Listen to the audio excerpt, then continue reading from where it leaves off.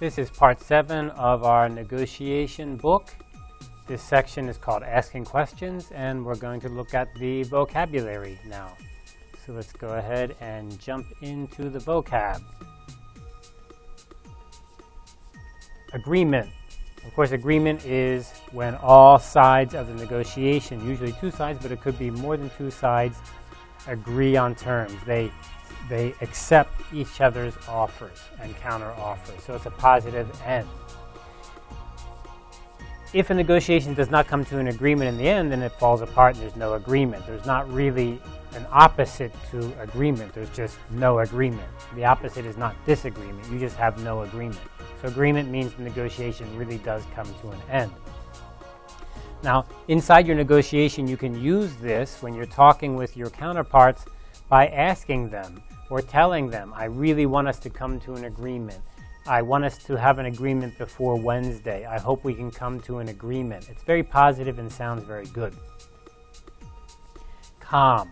You can ask the other side to stay calm, not show too much emotion, not get too excited.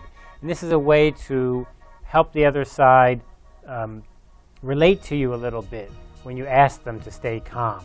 Now, if they're getting very excited or their demands are too extreme, you can say, Can you please stay calm? And this will give them a signal that you maybe are a little bit frustrated with their attitude. Usually, you would not use this unless the other side was getting really excited or emotional. Conditional. Conditional means you're going, you're going to do something, but it depends on something else. So usually when you go to school, you can graduate, but only conditional on did you pass all your classes. So you need to pass your classes before you can graduate. It's conditional on that requirement. So in negotiation, we can often use this idea of conditional. I can give you a lower price conditional on your purchasing more units. So I'll give you something if you give me something. It's a great word to use inside your negotiation. Confrontational is exactly what we were talking about. We want somebody to stay calm if they're being very confrontational. Usually, confrontational has some kind of anger or a little bit extreme or too emotional.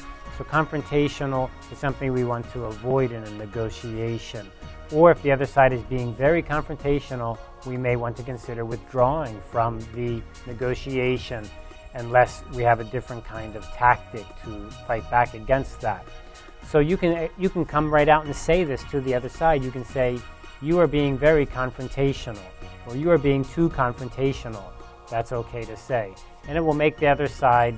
Uh, I should say it's a little bit negative. It has a negative connotation, and if the other side doesn't heed your warning, then you can threaten them. We're going to withdraw from this uh, negotiation. Counter offer. Counter offer is the offer that goes against the other offer. So I give you an offer, but you want to change it, so you give me another offer. That's called the counter offer. The reason for a counter offer is very is to help you make it very clear what it is you want. So I offer you a $10 price.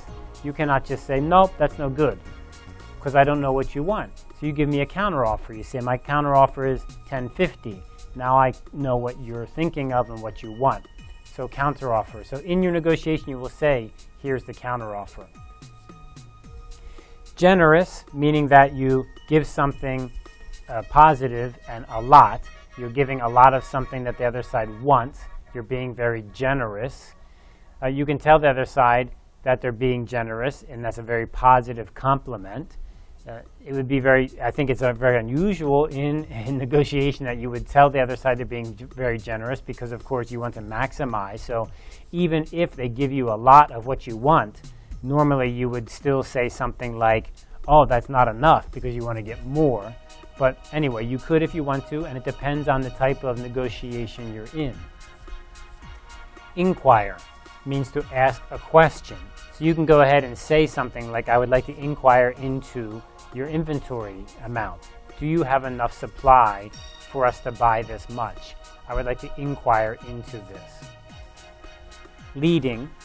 Now, leading is related to questions. So, in this case, leading, of course, means in front of. Like when you walk your dog, usually your dog is leading you. Your dog is walking in front of you. That's the dog is leading you. In questions, a leading question is a question that's not really a question, but I already kind of have the answer in the question. So, for example, I can say something like, You want to have a lower price, don't you? you see, I already said the answer inside the question. It's a leading question. Uh, your quality can be better, can it? So it's a leading question. Now you can use this in your negotiation by just telling the other side. That's a leading question. You just come out and tell them. So when they say that to you, say, that's a leading question. Uh, I'm not going to answer that. You already, you already answered the question, you know. Objection. Objection means to disagree or have a different perspective from your counterpart, and you can have an objection. Of course, the verb is object. So I have many objections. Another way you can use this, you can just ask your counterpart, What are your objections? You say you don't like this offer, or you say you don't like this counteroffer. Please tell me your objections. Open ended, in this case about questions, open ended means it has no very, it has no clear parameters. It has no clear uh, uh, question in it. It's open ended. It's not just a yes or no answer. So an open ended question or an open ended issue has no clear answer. It can be just a long explanation. So usually we use this, of course, related to questions. Open-ended question meaning you can say as much as you want and try to say uh, as wide-ranging as you want. Progress. So of course the goal is to make progress in our negotiation and we can use this in our negotiation as we work towards the goal. We get closer and closer. We make more and more progress. So you can tell the other side, your counterpart, I want to make a lot of progress today. Can, can we be sure to make progress today? We haven't been progressing all of this week. I need to make progress today. So that's a good word to use in your negotiation. Reasonable is another great word that you can use in the negotiation. And reasonable means that the, uh, that the other side or your side is not asking for too much. They're not being too extreme. Uh, it makes it easier to agree if both sides are reasonable. So in this case, you can come right out and tell the other side, your request on price is not reasonable. Your demand is not reasonable. And they could respond. They could say, our demand is very reasonable. So it's a great word to use in your negotiation. Reduction, of course, is when you ask for something to go lower and you're asking for reduction. How much of a reduction can you give us? requirement, meaning that the things that have to be done, kind of like prerequisite in a way. Requirement, uh, in your negotiation, you can use it very similar to prerequisite. This is a requirement. We require a guarantee of arrival time. We, we require a price of 1050 or lower. It's a requirement. resolve. Now here resolve is kind of like uh, in another chapter we had the word tough, right? Tough meaning hard, you don't give in easily. Resolve is is kind of that way. You need to resolve a tough situation. How can you resolve it? How can you come to an end? How can you uh, find a solution? You need to resolve it. So it's finding an answer, getting an answer. And if the situation is very easy, I want 1050, you want 1049, it's not that big of a difference. We can probably resolve that easily. But usually we use this word resolve for situations that are more complex or more difficult, tough negotiation situations. How can we resolve it? So we can even talk about this in our negotiation. I have an idea that can help resolve this problem. I have a solution that I think will resolve this issue. Now, revisit is a great one in negotiation, and it's like the word I think we had in another chapter renegotiate. Renegotiate meaning to do again. Revisit is to do it again. Revisit, visit the situation again, talk about it again.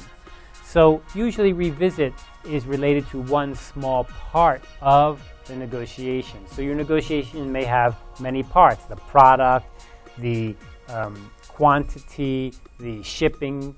So all of these are that whole package, that deal package. But we may agree on everything except one small thing, and then later I can say I need to revisit that. Or maybe we agreed on everything, and now we're just about to make the deal, and I say, wait a minute, I think we need to revisit the shipping because we cannot accept this shipping the way it is.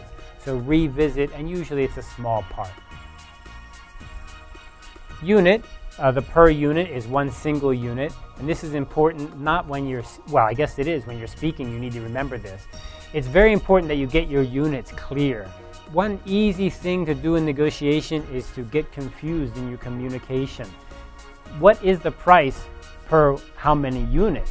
And it's very easy to overlook this. And you could be negotiating with the other side and you're talking about 10 units and they're talking about 10 boxes, and each box has 10 units inside each box.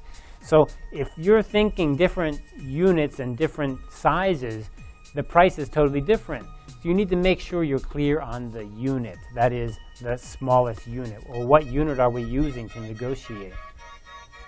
You can just come out and ask too. You can ask the other side, you say, are we talking about per box and is every box has 10 units? What is a unit? Is a unit a box or each individual product? And they will tell you. Unresolved.